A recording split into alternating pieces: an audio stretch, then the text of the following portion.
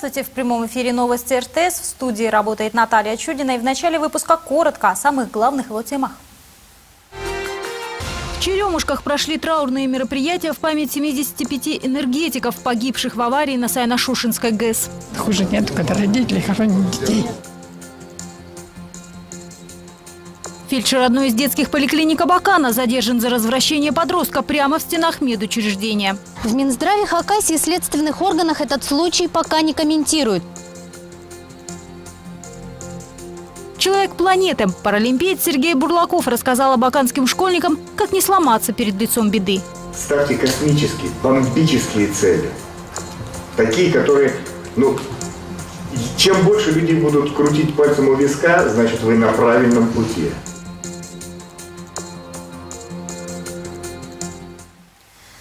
По тарифам не утихают. Тема платы за потребленную электроэнергию для бизнеса по-прежнему не сходит с новостных лент Хакаси.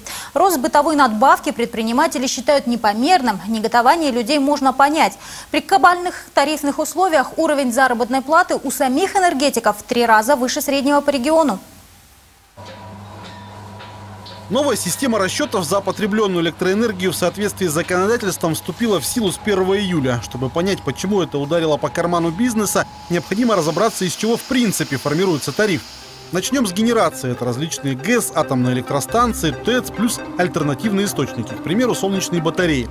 Далее электроэнергия поступает на оптовый рынок. Следующее звено – федеральная сетевая компания. Далее еще одна сетевая компания, к примеру, Абакан Энерго. Следом подстанции и сети и только потом конечный потребитель. В нашем случае малый бизнес, но здесь надо учитывать уровни напряжения, их четыре, от низкого до высокого, и у каждого своя стоимость. Рассмотрим полярные значения. Тариф на низком напряжении самый дорогой в его структуре. По закону 37,5% это стоимость электроэнергии на оптовом рынке.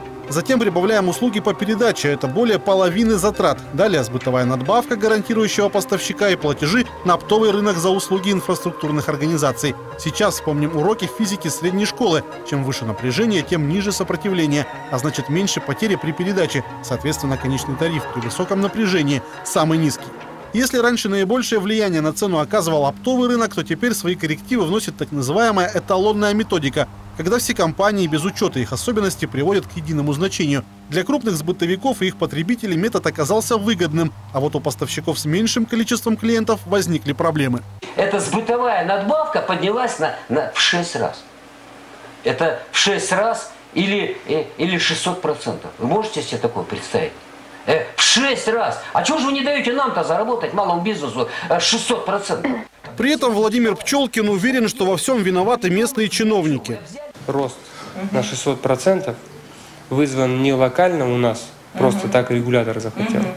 А это проблема по всей территории Российской Федерации. Председатель Госкомитета уточняет, изменения приняты на федеральном уровне. Энергетики стали брать с бизнеса максимально возможную плату, установленную законом. Он, к сожалению, пока допускает включать тариф непомерные аппетиты с бытовых компаний. В то же время именно с этих доходов фирмы начисляют своему руководству солидные заработные платы. Госкомитет ведет активную работу, чтобы этому противостоять. Однако решить проблему за один день невозможно. Чтобы изменить тарифно-балансовые решения, которые были приняты ранее, мне нужны основания. Этими основаниями могут быть судебные решения. Этими основаниями могут быть предписания федерального центра. Как бы мне нравилось это, как бы нам это не нравилось, но орган регулирования может оценить тарифно-балансовое решение лишь на следующий период регулирования. Изменить ситуацию можно только одним способом – обратить на проблему внимание федерального центра. Предварительные результаты уже достигнуты. В Москве обещают провести необходимую корректировку системы эталонов. Поправку регионы ждут к осени. Также Госкомитет следит за работой предприятий и готов оспаривать их затраты в суде. Хакасии в этот четверг масштабно отметят День государственного флага. Празднику посвятят концерт, который начнется 22 августа в 17 часов на Первомайской площади. В России этот день празднуется с 1994 года, но российский триколор имеет более чем 300-летнюю историю. Законным автором признан Петр I. 20 января 1705 года он издал указ, согласно которому на торговых судах должны поднимать бело-синий-красный флаг. Сам начертал образец и определил количество и порядок горизонтальных полос. Рожденный вместе с первыми российскими военными кораблями, российский флаг до 19 века оставался принадлежностью главным образом флотской культуры. Начало применение российского флага на суше связано с географическими открытиями русских мореплавателей. ДТП на Аскизской трассе в выходные унесло жизнь молодой девушки, а недалеко от Хакасии зафиксировали землетрясение. Подробности в хронике происшествий.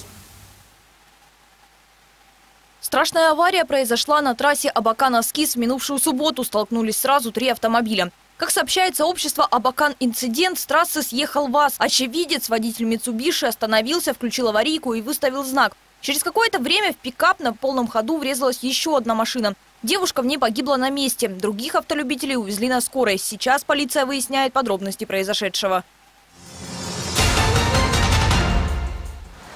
Еще одна авария произошла на федеральной трассе Енисей. Вчера вечером лихач на иномарке нарушил правила обгона. Выехал на встречную полосу и столкнулся с «Тойотой». От ударной волны ее водитель врезался во впереди идущий автомобиль. Все участники аварии получили травму, ушибы и черепно-мозговую травму головы. Ведется следствие. Водолазы ищут пропавшего без вести. Мужчина сплавлялся на лодке по Енисею от Братского моста в направлении Абаканского речного порта. Однако с 12 августа с ним нет никакой связи. Спасатели спускались на дно уже три раза. Сообщают, что турист пока не найден. Поиски продолжаются. За прошедшие выходные в Хакасии зарегистрировано 4 пожара. Дважды причиной стало газовое оборудование. Первый инцидент произошел в Баграде. Газовый баллон загорелся из-за нарушения правил монтажа. Никто не пострадал, огонь потушили. А вот в столице республики взорвался туристический баллон. При взрыве девушка получила незначительные ожоги кисти. Кроме этого, огнеборцы выезжали на возгорание мусора. Рядом с Хакасией произошло землетрясение. Подземный толчок магнитудой в 3 балла зарегистрирован в воскресенье в Кемеровской области. По данным Алтая-Саянской геофизической службы, толчок имеет техногенный характер и связан с интенсивными горными работами. Жителя Хакасии обвиняют в финансировании терроризма в Сирии. Мужчина перевел деньги родственнику. Надзорники предполагают на приобретение оружия и боеприпасов. По версии следствия, обвиняемый с целью оказания финансовой помощи своему родственнику перевел в Сирию более 40 тысяч рублей. Родственник, по данным прокуратуры, является членом международной террористической организации ИГИЛ, запрещенной на территории России. Предполагается, что средства пошли на приобретение обмундирования, медикаментов и оружия. Мужчине за финансирование терроризма грозит грозит до 10 лет лишения свободы.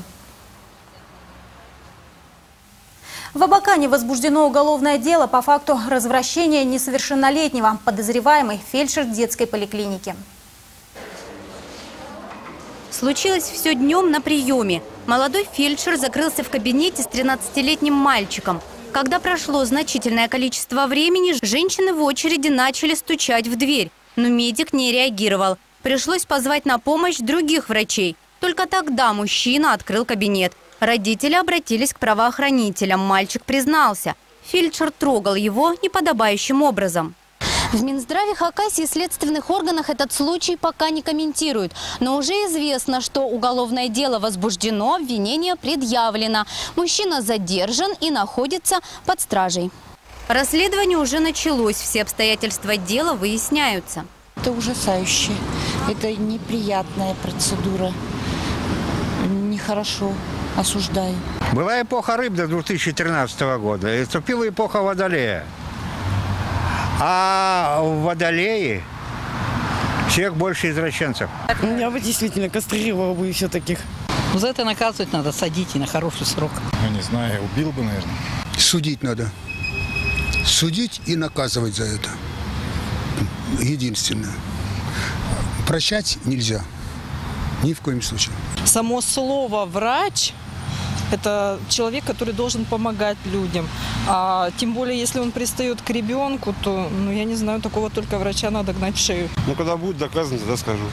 Если вина фельдшера будет доказана, то максимальное наказание, которое ему может грозить – 8 лет лишения свободы. Мария Мишнина, Руслан Шалгинов, РТС. В эту среду, 21 августа, в Республиканском музейно-культурном центре стартует форум «Немалый бизнес». В течение двух дней будут работать различные площадки. Перед бизнес-сообществом Хакасии выступят признанные федеральные эксперты, проведут мастер-классы и семинары. Среди них известный во всем мире бизнес-тренер Александр Левитас. Участники смогут не только подчеркнуть полезные знания, но и пообщаться с лидерами финансово-экономического блока республики Ириной Войновой и Николаем Евдокимовым.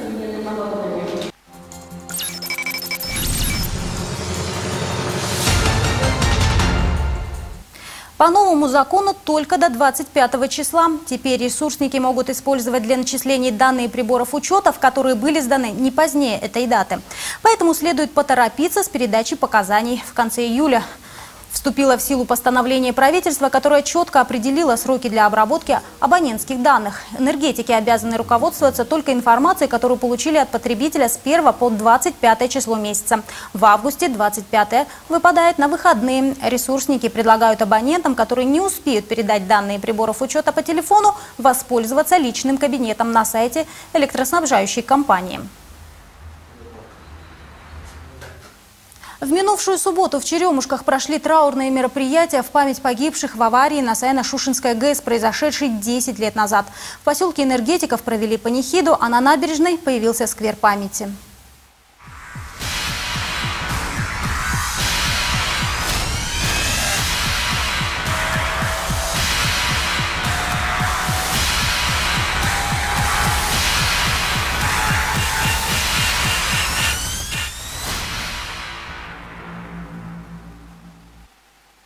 Десять лет спустя, но все так же 17 августа к постаменту с фотографиями погибших в аварии на Саяно-Шушенской ГЭС приносят цветы.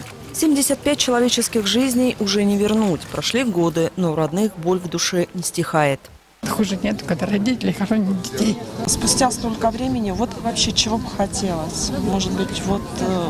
Возврата и благоразумия некоторых товарищей, которые могли бы предотвратить, может быть, аварию.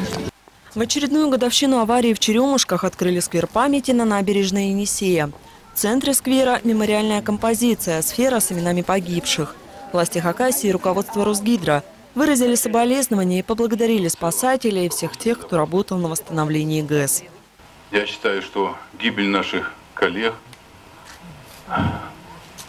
они своими жизнями изменили отношение к безопасности энергообъектов, промышленной безопасности, изменили отношение общества в целом к вопросам безопасности. Мы помним, какая тогда была атмосфера, все ждали большой беды, а, но, к счастью, благодаря общим усилиям, благодаря стараниям специалистов, благодаря поддержке со всей страны, со всей России, помощи, мы смогли это преодолеть.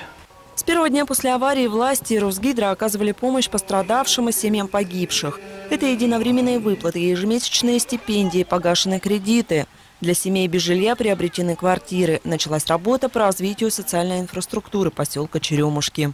Когда случилась авария, правительство обратило внимание на наш поселок, и вы видите, он стал расцветать. Благоустроили. Да, построили две школы прекрасные, набережную, сейчас куда пойдем, ДК отремонтировали, площадь, площадь сделали. ГЭС полностью модернизировали, заменили все 10 гидроагрегатов, силовые трансформаторы, построили новое распределительное устройство. В результате мощность Сайно-Шушинской ГЭС возросла, а накануне десятилетней годовщины со дня аварии здесь запустили масштабное сооружение для сброса воды. Как не печально это осознавать, но именно авария на гидроэлектростанции гибель людей послужила толчком для создания такого впечатляющего объекта. Береговой водосброс привлекает все больше внимания отдыхающих. Но вместе с тем стоит помнить, что за этой красотой стоит глубокий смысл и серьезная работа над ошибками. Сооружение снимает нагрузку с плотины и гидроэлектростанции, а значит и снижает риски для жизни работающих там людей. Катерина Ярушина, Руслан Шалгинов, РТС. Вблизи Саяно-Шушинской ГЭС от моста до смотровой площадки появится набережная. Подрядная организация уже оформила место под дорожку. Сейчас усиливает берег Енисея бетоном. Это необходимо для того, чтобы отвесы не подмывались. Вдоль всей пешеходной полосы протянется ограждение. Место для отдыхающих выбрано удачно. Отсюда открываются замечательные виды водосброса и самой гидроэлектростанции. Но в отличие от набережной в поселке Черемушки, спуск в воде здесь будет запрещен.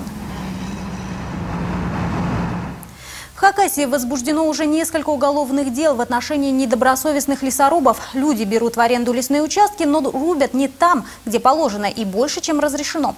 Куда уходит древесина, предстоит разбираться следователям. А вот проверками лесовосстановления занимается Минприроды Хакасии. Об итогах очередной ревизии расскажет Мария Мишнина. Тайгу рубят, а потом восстанавливают. Таковы правила лесозаготовки. Представители Минприроды Хакасии, общественники, экологи, журналисты проверяют, как арендаторы лесных участков выполняют условия договора. Сколько леса вырубили, столько и должны восстановить. Общий объем заготовки 3600 по лиственному хозяйству и 2000 по хвойному хозяйству. Кубометров, да. Вырубаем мы где-то в год примерно процентов 65-70. Работа по восстановлению леса не из легких. За день два человека должны осилить целый гектар. Несколько километров по тайге пешком, в гору. По неровным и топким тропам, бок о бок с лесными обитателями. С собой тяжелое оборудование и 3000 саженцев. Вот эти посадили в прошлом году. Сейчас нужно посмотреть, как они прижились. На лесосеке на первой мы увидели отличную приживаемость, 80, э, там, 85% приживаемости. Там был сделан уход уже химический, будет еще делаться уход. И сегодня еще были приятно удивлены, побывав на другой лесосеке. Там как раз э, была береза из сосна и посадили кедр и он прижился отлично. Если через несколько лет из трех тысяч сеянцев останется хотя бы треть, это успех. Слишком уж уязвимы деревца перед естественным отбором. Восстанавливается природа и сама. Вот, например, малышня ясельного возраста. Этому сеянцу где-то года два. А здесь, смотрите, какой малыш. Семечко только-только проклюнулась. Семена прорастают только в тех местах, которые уже подготовлены для будущих посадок. Итак, на этих делянках все по закону. Но, к сожалению, не всех лесорубов можно назвать добросовестными. Из 15 арендаторов треть нарушают условия договора. Ведь рубить можно только определенные деревья на строго обозначенном участке. С такими нарушителями Минприроды проводят беседы. Иногда дело доходит до расторжения договора и крупных штрафов. Кроме того, нерадивым лесорубам может грозить и уголовная ответственность. Мы сейчас плотно ведем работу с э, правоохранительными органами, с МВД, ФСБ, прокуратурой. Значит, э, уже на проверки по рубке мы выезжали неоднократно. Во все места, куда мы выезжали, там есть нарушения, не буду скрывать. Э, и уже, значит, ведутся там дела заведены. Но это частные случаи. Есть проблемы куда серьезнее. Та же Таштыбская тайга. В прошлом месяце специалисты нашли здесь незаконные рубки и факты того, что хакасский лес вывозится в Китай. Этой проблемой сейчас занимаются на федеральном уровне. Как заявил глава Минприроды страны, Россия может полностью запретить вывоз леса в Китай. Это в том случае, если Пекин не станет совместно с Москвой решать проблему черных лесорубов. Сейчас в этом направлении идет совместная работа с китайской стороной, отметил министр. Что касается нашего региона, в ближайшее время пройдет еще несколько проверок лесопользователей. Мария Мишнина, Станислав Колчинаев, РТС. Будущее не за горами. На одном из участков угольной компании «Суэк» запустили в работу два БелАЗа беспилотника. Полина Назарова посмотрела, как работают машины, в кабинах которых нет людей. На первый взгляд ничего необычного. Многотонный БелАЗ грузит породу. Уже догадались, чем отличаются эти машины от обычных. В них никого нет. Они полностью роботизированы. Теперь водители могут спокойно сидеть в кресле и наблюдать, как работает его железный боевой товарищ. Во-первых, участок сам накрыт э, специально выделенной связью беспроводной, и они находятся на постоянном контроле, и видеоконтроле, и контроле системы. У системы есть серверная часть, вот сзади его центр управления сейчас, он строит маршруты, он контролирует движение, контролирует встречный разъезд. Ну, соответственно, все операции, которые эти роботы выполняют, они заранее просчитаны и срабатывают по ситуации. Компания «Суэк» впервые запустила в работу машины-роботы, аналогов просто нет.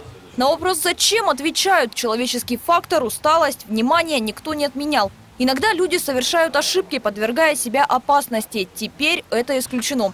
В нештатной ситуации БелАЗ попросту остановится.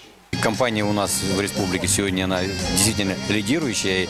И э, в сегменте вообще компанию СУЭК Россия, она, она занимает э, ведущее место. Для нас, конечно, это большая, большая гордость и радость, э, что а, именно новые технологии а, и первый пилотный проект на нашей родной Хакасской земле. Беспилотные БелАЗы могут перевести на себе 130 тонн черного золота. Для них отведен специальный участок 1350 метров, где сейчас они и работают, без помощи человека. СОЭК – это наш глобальный партнер. Мы много сотрудничаем, и почти вся техника, которая эксплуатируется сегодня на СОЭКе, это техника БелАЗ. СОЭК является инноватором во многих вещах, и мы совместно с ним эти инновации реализовываем. Мы первые поставляли сюда машину, поставляем с двигателем российского производства. Мы поставляем сюда первый роботизированный комплекс. Компания «Суэк» проводила испытания. Сегодня продемонстрировала всю мощь широкой публики и коллегам-угольщикам. Автоматизированная работа – это потенциальный дальнейший рост темпов производства. Роботы-белазы могут работать 24 часа в сутки, 7 дней в неделю, без перерыва на обед. Контролируются они из центра управления. Специалисты говорят, бывшие водители смогут удаленно работать сразу на нескольких таких машинах вместо одной. Я считаю, испытания прошли нормально. Вот, ну, видите, машины ходят, грузятся и разгружаются на отвалах. Никаких сбоев нет. То, что делается, это в России первое. Поэтому СУЭК для, э, всегда занимается, э, будем говорить, перспектив, перспективными мероприятиями. С течением лет водители самосвалов останутся на разрезе, но управлять большегрузами будут с компьютера. В планах СУЭК пойти еще дальше, сделать полностью автоматизированный карьер. На днях разрез Черногорский отметил свой 60-й день рождения. Успешное испытание роботов – это одно из главных событий, приуроченных к юбилею. Полина Назарова, Дмитрий Щеглов, РТС. Сегодня православные празднуют Преображение Господне, или, как говорят в народе, Яблочный Спас. Он относится к 20-м православным праздникам, важнейшим после Пасхи, связанным с событиями из жизни Христа и Пресвятой Девы Марии. Также он называется вторым или Яблочным Спасом, поскольку в этот день освещаются яблоки, самый распространенный плод на Руси. До этого дня есть их не полагалось, как и другие фрукты и овощи, кроме огурцов.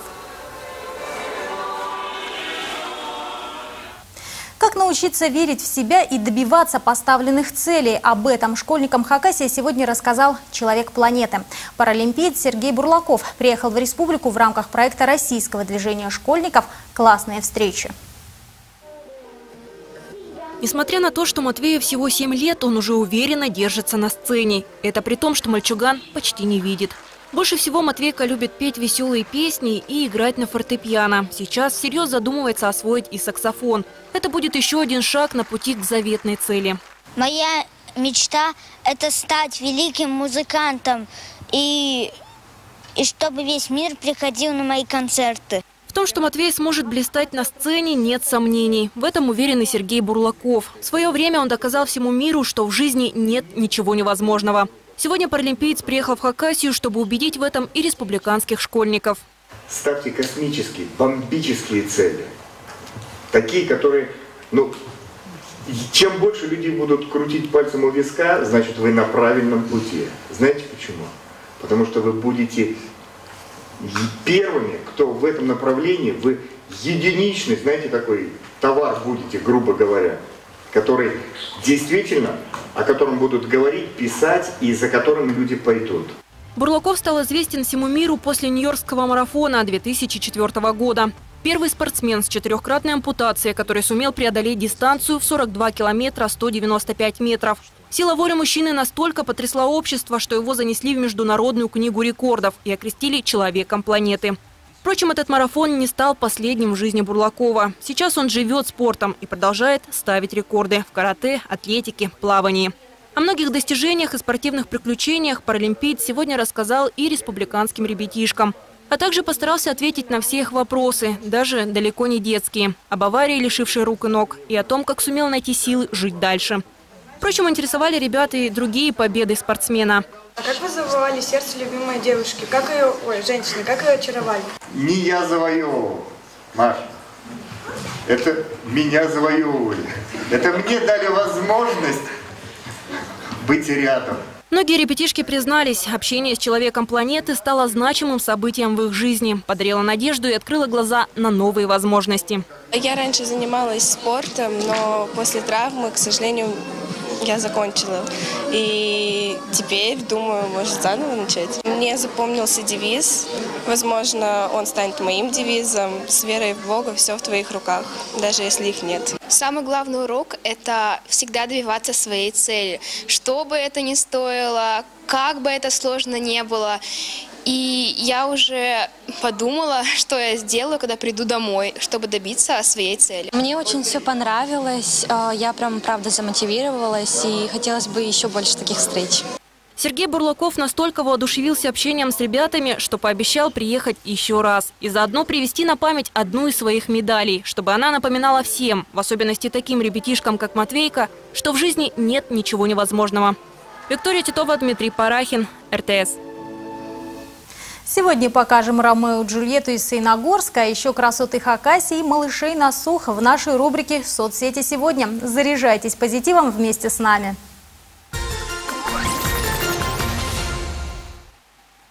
Романтику, как у Шекспира, хотите? Показываем. Сайногорск вечереет, а вот молодой человек не растерялся и решил сделать своей даме сердце приятное. Сорвать букет прямо с клумбы у музея. Поступок современного Ромео жители города Металлургов не оценили, а даже осудили.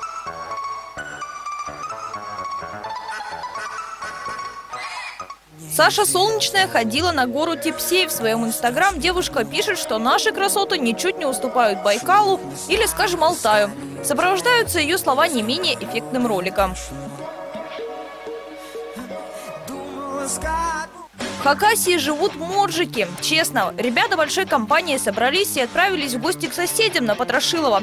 Несмотря на то, что ночами уже очень холодно, вода остыла, они бесстрашно кинулись прыгать с бревна. Говорят, ноги сводила. Бррр.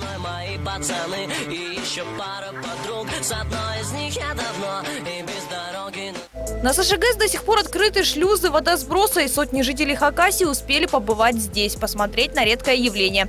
А мы покажем, как это выглядит с высоты птичьего полета.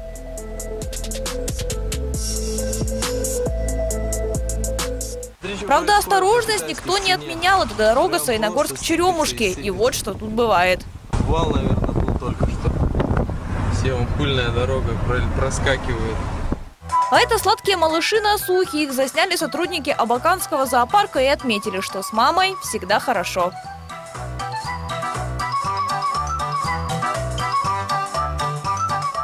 Если вы стали свидетелями чего-то необычного и интересного, присылайте свои фото и видео в WhatsApp, Viber или Telegram по номеру, указанному на экране.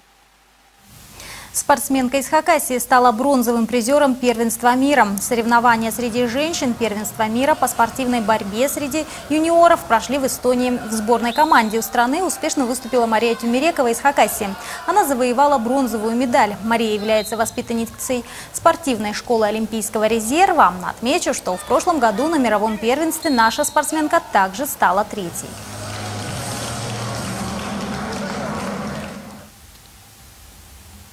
На этом у нас все новости. Удачи и до встречи в эфире.